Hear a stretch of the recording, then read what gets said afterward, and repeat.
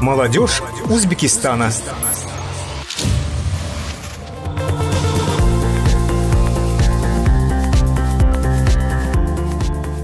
В нашей программе сегодня мы познакомим вас с творчеством молодого талантливого композитора Виктора Хандамяна.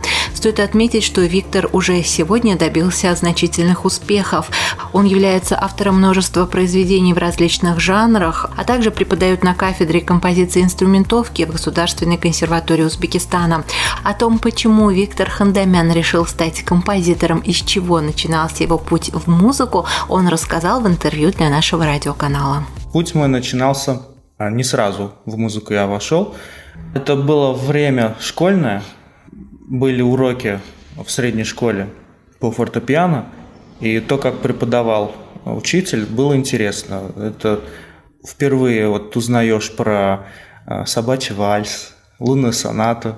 Я думаю, для многих школьников это интересно. И, скорее всего, у многих начинается вхождение в музыку с этих тем. Ну, также и я не обошел эти темы стороной. Очень нравилась лунная соната. И я попросил на то время педагога по музыке, чтобы она преподавала мне а, во время переменок школьных занятия некоторые давала по тому, как играть лунную сонату.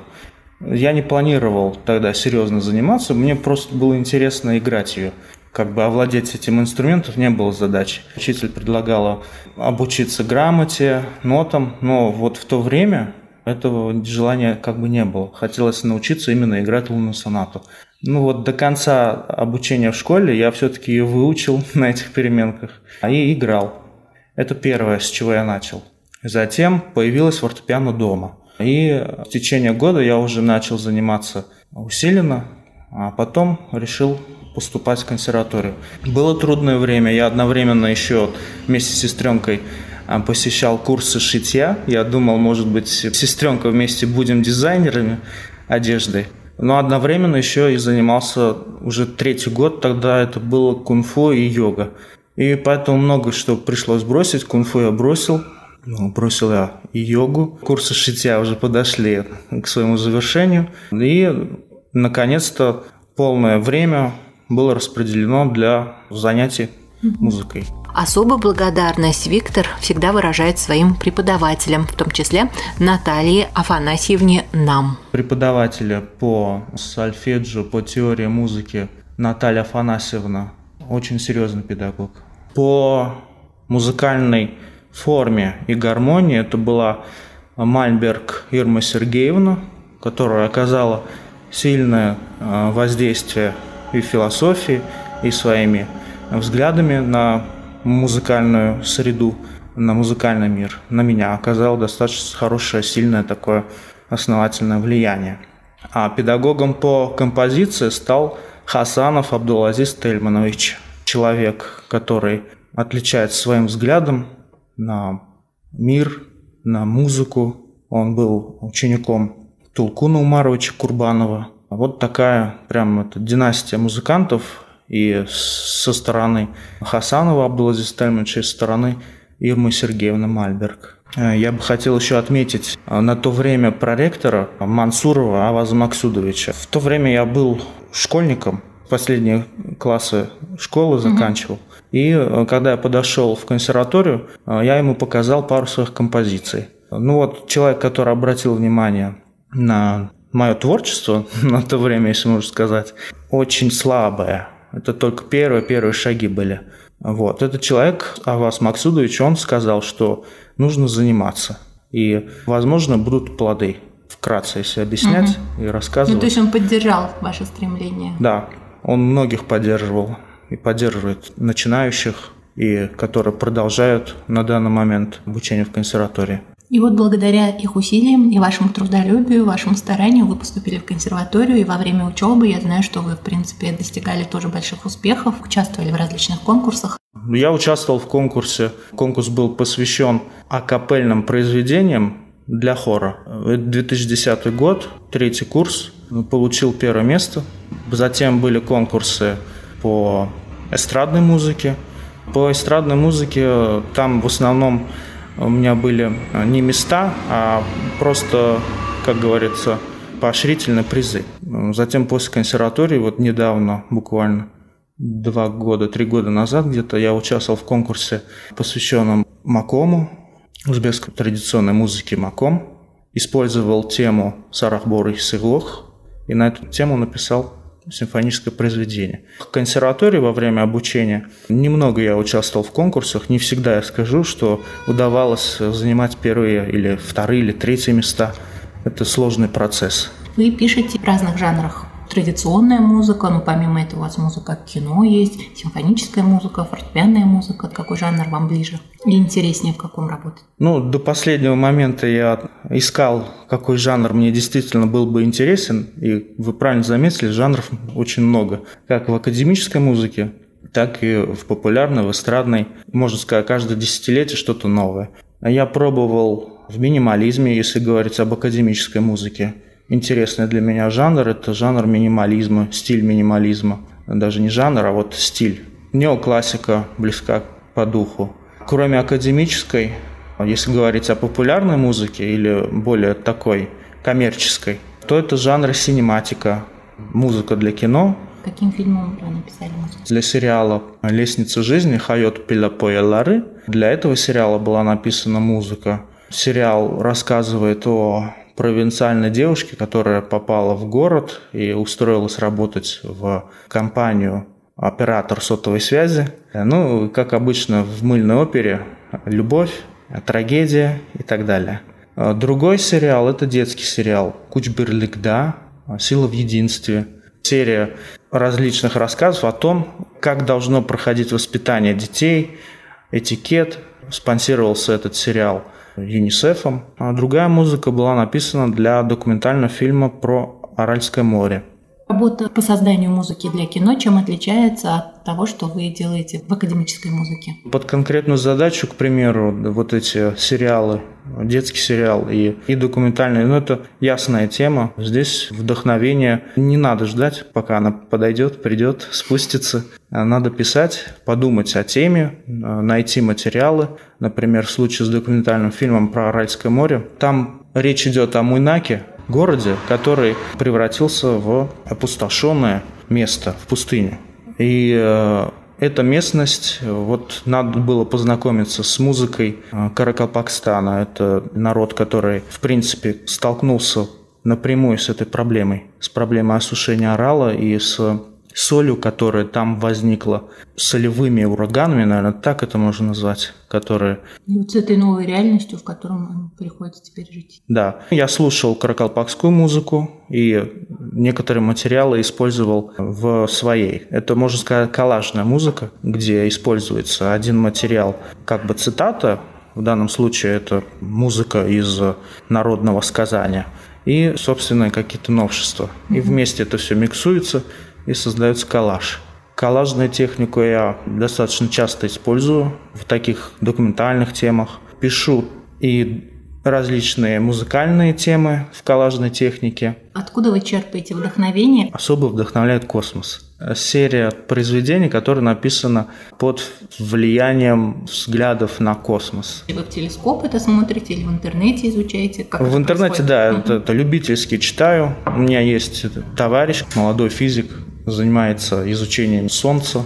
И э, с ним вот мы общаемся иногда, возникают какие-то вопросы, я к нему обращаюсь по поводу физики небесных тел. Угу. Что интересно, это существование, например, понятие такое, как квантовая физика и наш реальный мир, где в нашем реальном мире это физика ньютоновская, а квантовая физика – это совсем другие законы. Ну а в продолжении темы для вас звучит фрагмент произведения «Альфа Центавра» Виктора Хандамяна.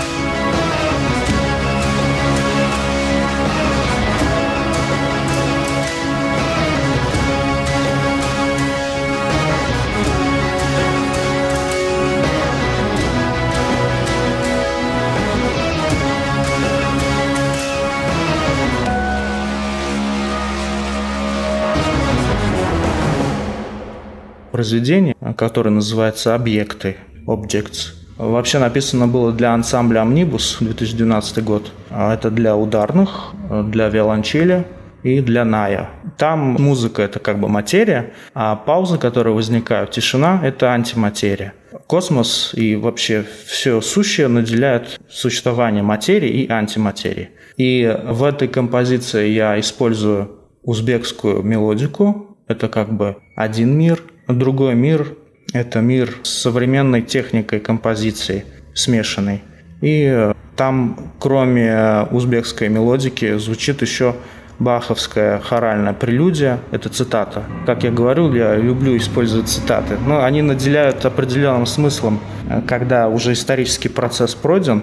Мы знаем, что хоральная прелюдия Баха, для чего она была написана, где она еще использовалась. Использовалась, например, у Тарковского в фильме «Солярис». Она для меня обозначает иллюзию. И в фильме Тарковского, скорее всего, тоже она обозначала иллюзию того, что планета создает иллюзию для людей, ее населяющих, а в моем случае это иллюзия э, материи, которую мы видим, ощущаем, и в некотором смысле она взаимодействует с антиматерией, с паузами, которые присутствуют в музыке.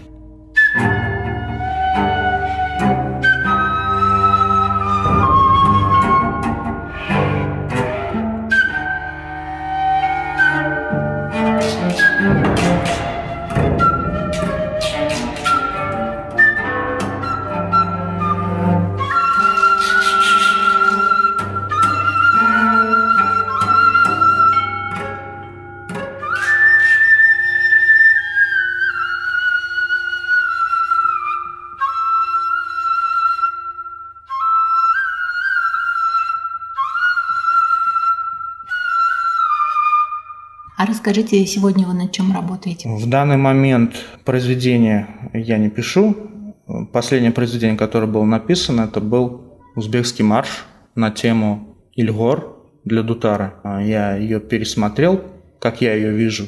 Специалисты говорят, что нужно было более мягко, но мне видится Дутар не мягким инструментом, а таким роковым. Просто традиционное мировоззрение, оно основывается на том, что Дутар – это инструмент женский а значит он мягкий. Музыка, извлекаться из него должна мягче, чем то, как я ее представляю. Ну, я не думаю, что это моя ошибка, это мое видение это Дутара. Видение, конечно. Вот, это последнее было узбекский марш. А в данный момент я просто работаю над своим сайтом. Расскажите, что за сайт? А, сайт – это библиотека музыкантов Узбекистана – если все будет замечательно, то она превратится не только в библиотеку Узбекистана, а может быть и в Средней Азии. Там присутствуют только ноты. Цель – сделать доступным произведения наших композиторов, произведения композиторов Узбекистана, как современных, так и прошлого периода времени, сделать их доступными не только по Узбекистану, но и в любой точке мира. В принципе, есть такие сайты, но нет сайта, который бы распределял доход между авторами. Многие сайты размещают ноты даже без ведома авторов, и эти произведения скачиваются, передаются, авторы, и не знают, а может быть и в некоторых случаях и продаются, авторы об этом не знают. Мой сайт, он был создан именно для того, чтобы авторы были в курсе и получали от этого доход. Вы вначале сказали, что занимались художественным творчеством, занимались йогой, камфу, потом вы шили. Вот эти все ваши занятия помогают ли вам сейчас в современной жизни и чем помимо музыки вы увлекаетесь сейчас? Из пройденного а, мне помогает кунг-фу. А в кунг-фу есть система мировоззрений, дисциплины, которая с того времени она присутствует. Взгляды конфуцианства, и прочее. В какой-то мере, и может быть, меня подтолкнуло к, к интересу космоса. Может быть, это как-то и связано. Конфуцианство и космос, черное и белое, там, инь-янь, угу. материя и антиматерия. А сегодня вот хобби у вас есть какое-то помимо музыки, помимо увлечения космосом? Хобби моим стало дизайн и создание сайта которым я сейчас занимаюсь. Uh-huh. Я планирую серьезно обучиться а, веб-дизайну. Это и настоящее, и будущее технологии, которые будут присутствовать в нашей жизни. А вот обучившись э, веб-дизайну, возможно, у меня получится создать что-то такое, чего было бы необходимо для нас, музыкантов. Это продолжение той же самой библиотеки и создание ряда инструментов, таблиц, которые пригодятся. Уже был создан совместно с американским программистом, музыкантом. Он, кстати, на Западе это нормальное явление, когда музыкант, он еще и программист, и дизайнер. Когда стыки дисциплин происходят, когда человек владеет несколькими дисциплинами, что-то новое точно может быть рождено. И то, чего э, не ожидают в обществе. С этим э, человеком, тот Стилвелл его зовут, мы сделали электронный дутар, электронную библиотеку. Э, это, насколько я знаю, первая библиотека такого плана в нашей стране и, скорее всего, в Средней Азии дутар. Библиотека имеется в виду ряд звуков, снятых с дутара, его диапазон, они собраны благодаря скрипту, то есть коду угу. программному, и проигрывая их в компьютере, в итоге вы услышите игру на дутаре. Приближенную, не реальную, но приближенную к реальному звучанию дутара.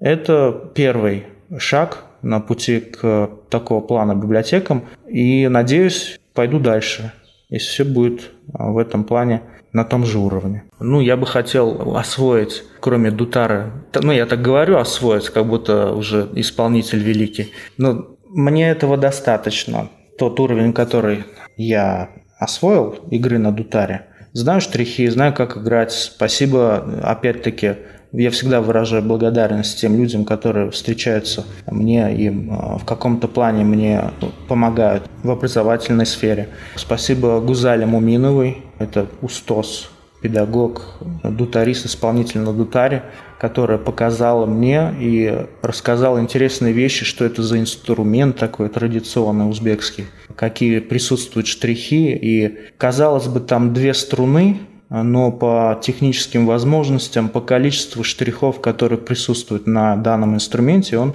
ничем не уступает скрипке. Скрипка, можно сказать, считается одним из передовых инструментов. Но на скрипке 4 струны и 600 э, лет истории развития. У Дутара тоже история не вчерашняя, развивался достаточно долго инструмент, но вот то развитие, которое нам известно, это размеры маленькие, средние, масса штрихов различных, которые привносят для каждого исполнителя свой характер. Я бы хотел освоить еще ряд народных инструментов, например, тамбур. Я как-то брал на пользование, но все таки не дошел на приобретение нахуна, специальный нахун для пальца, медиатор.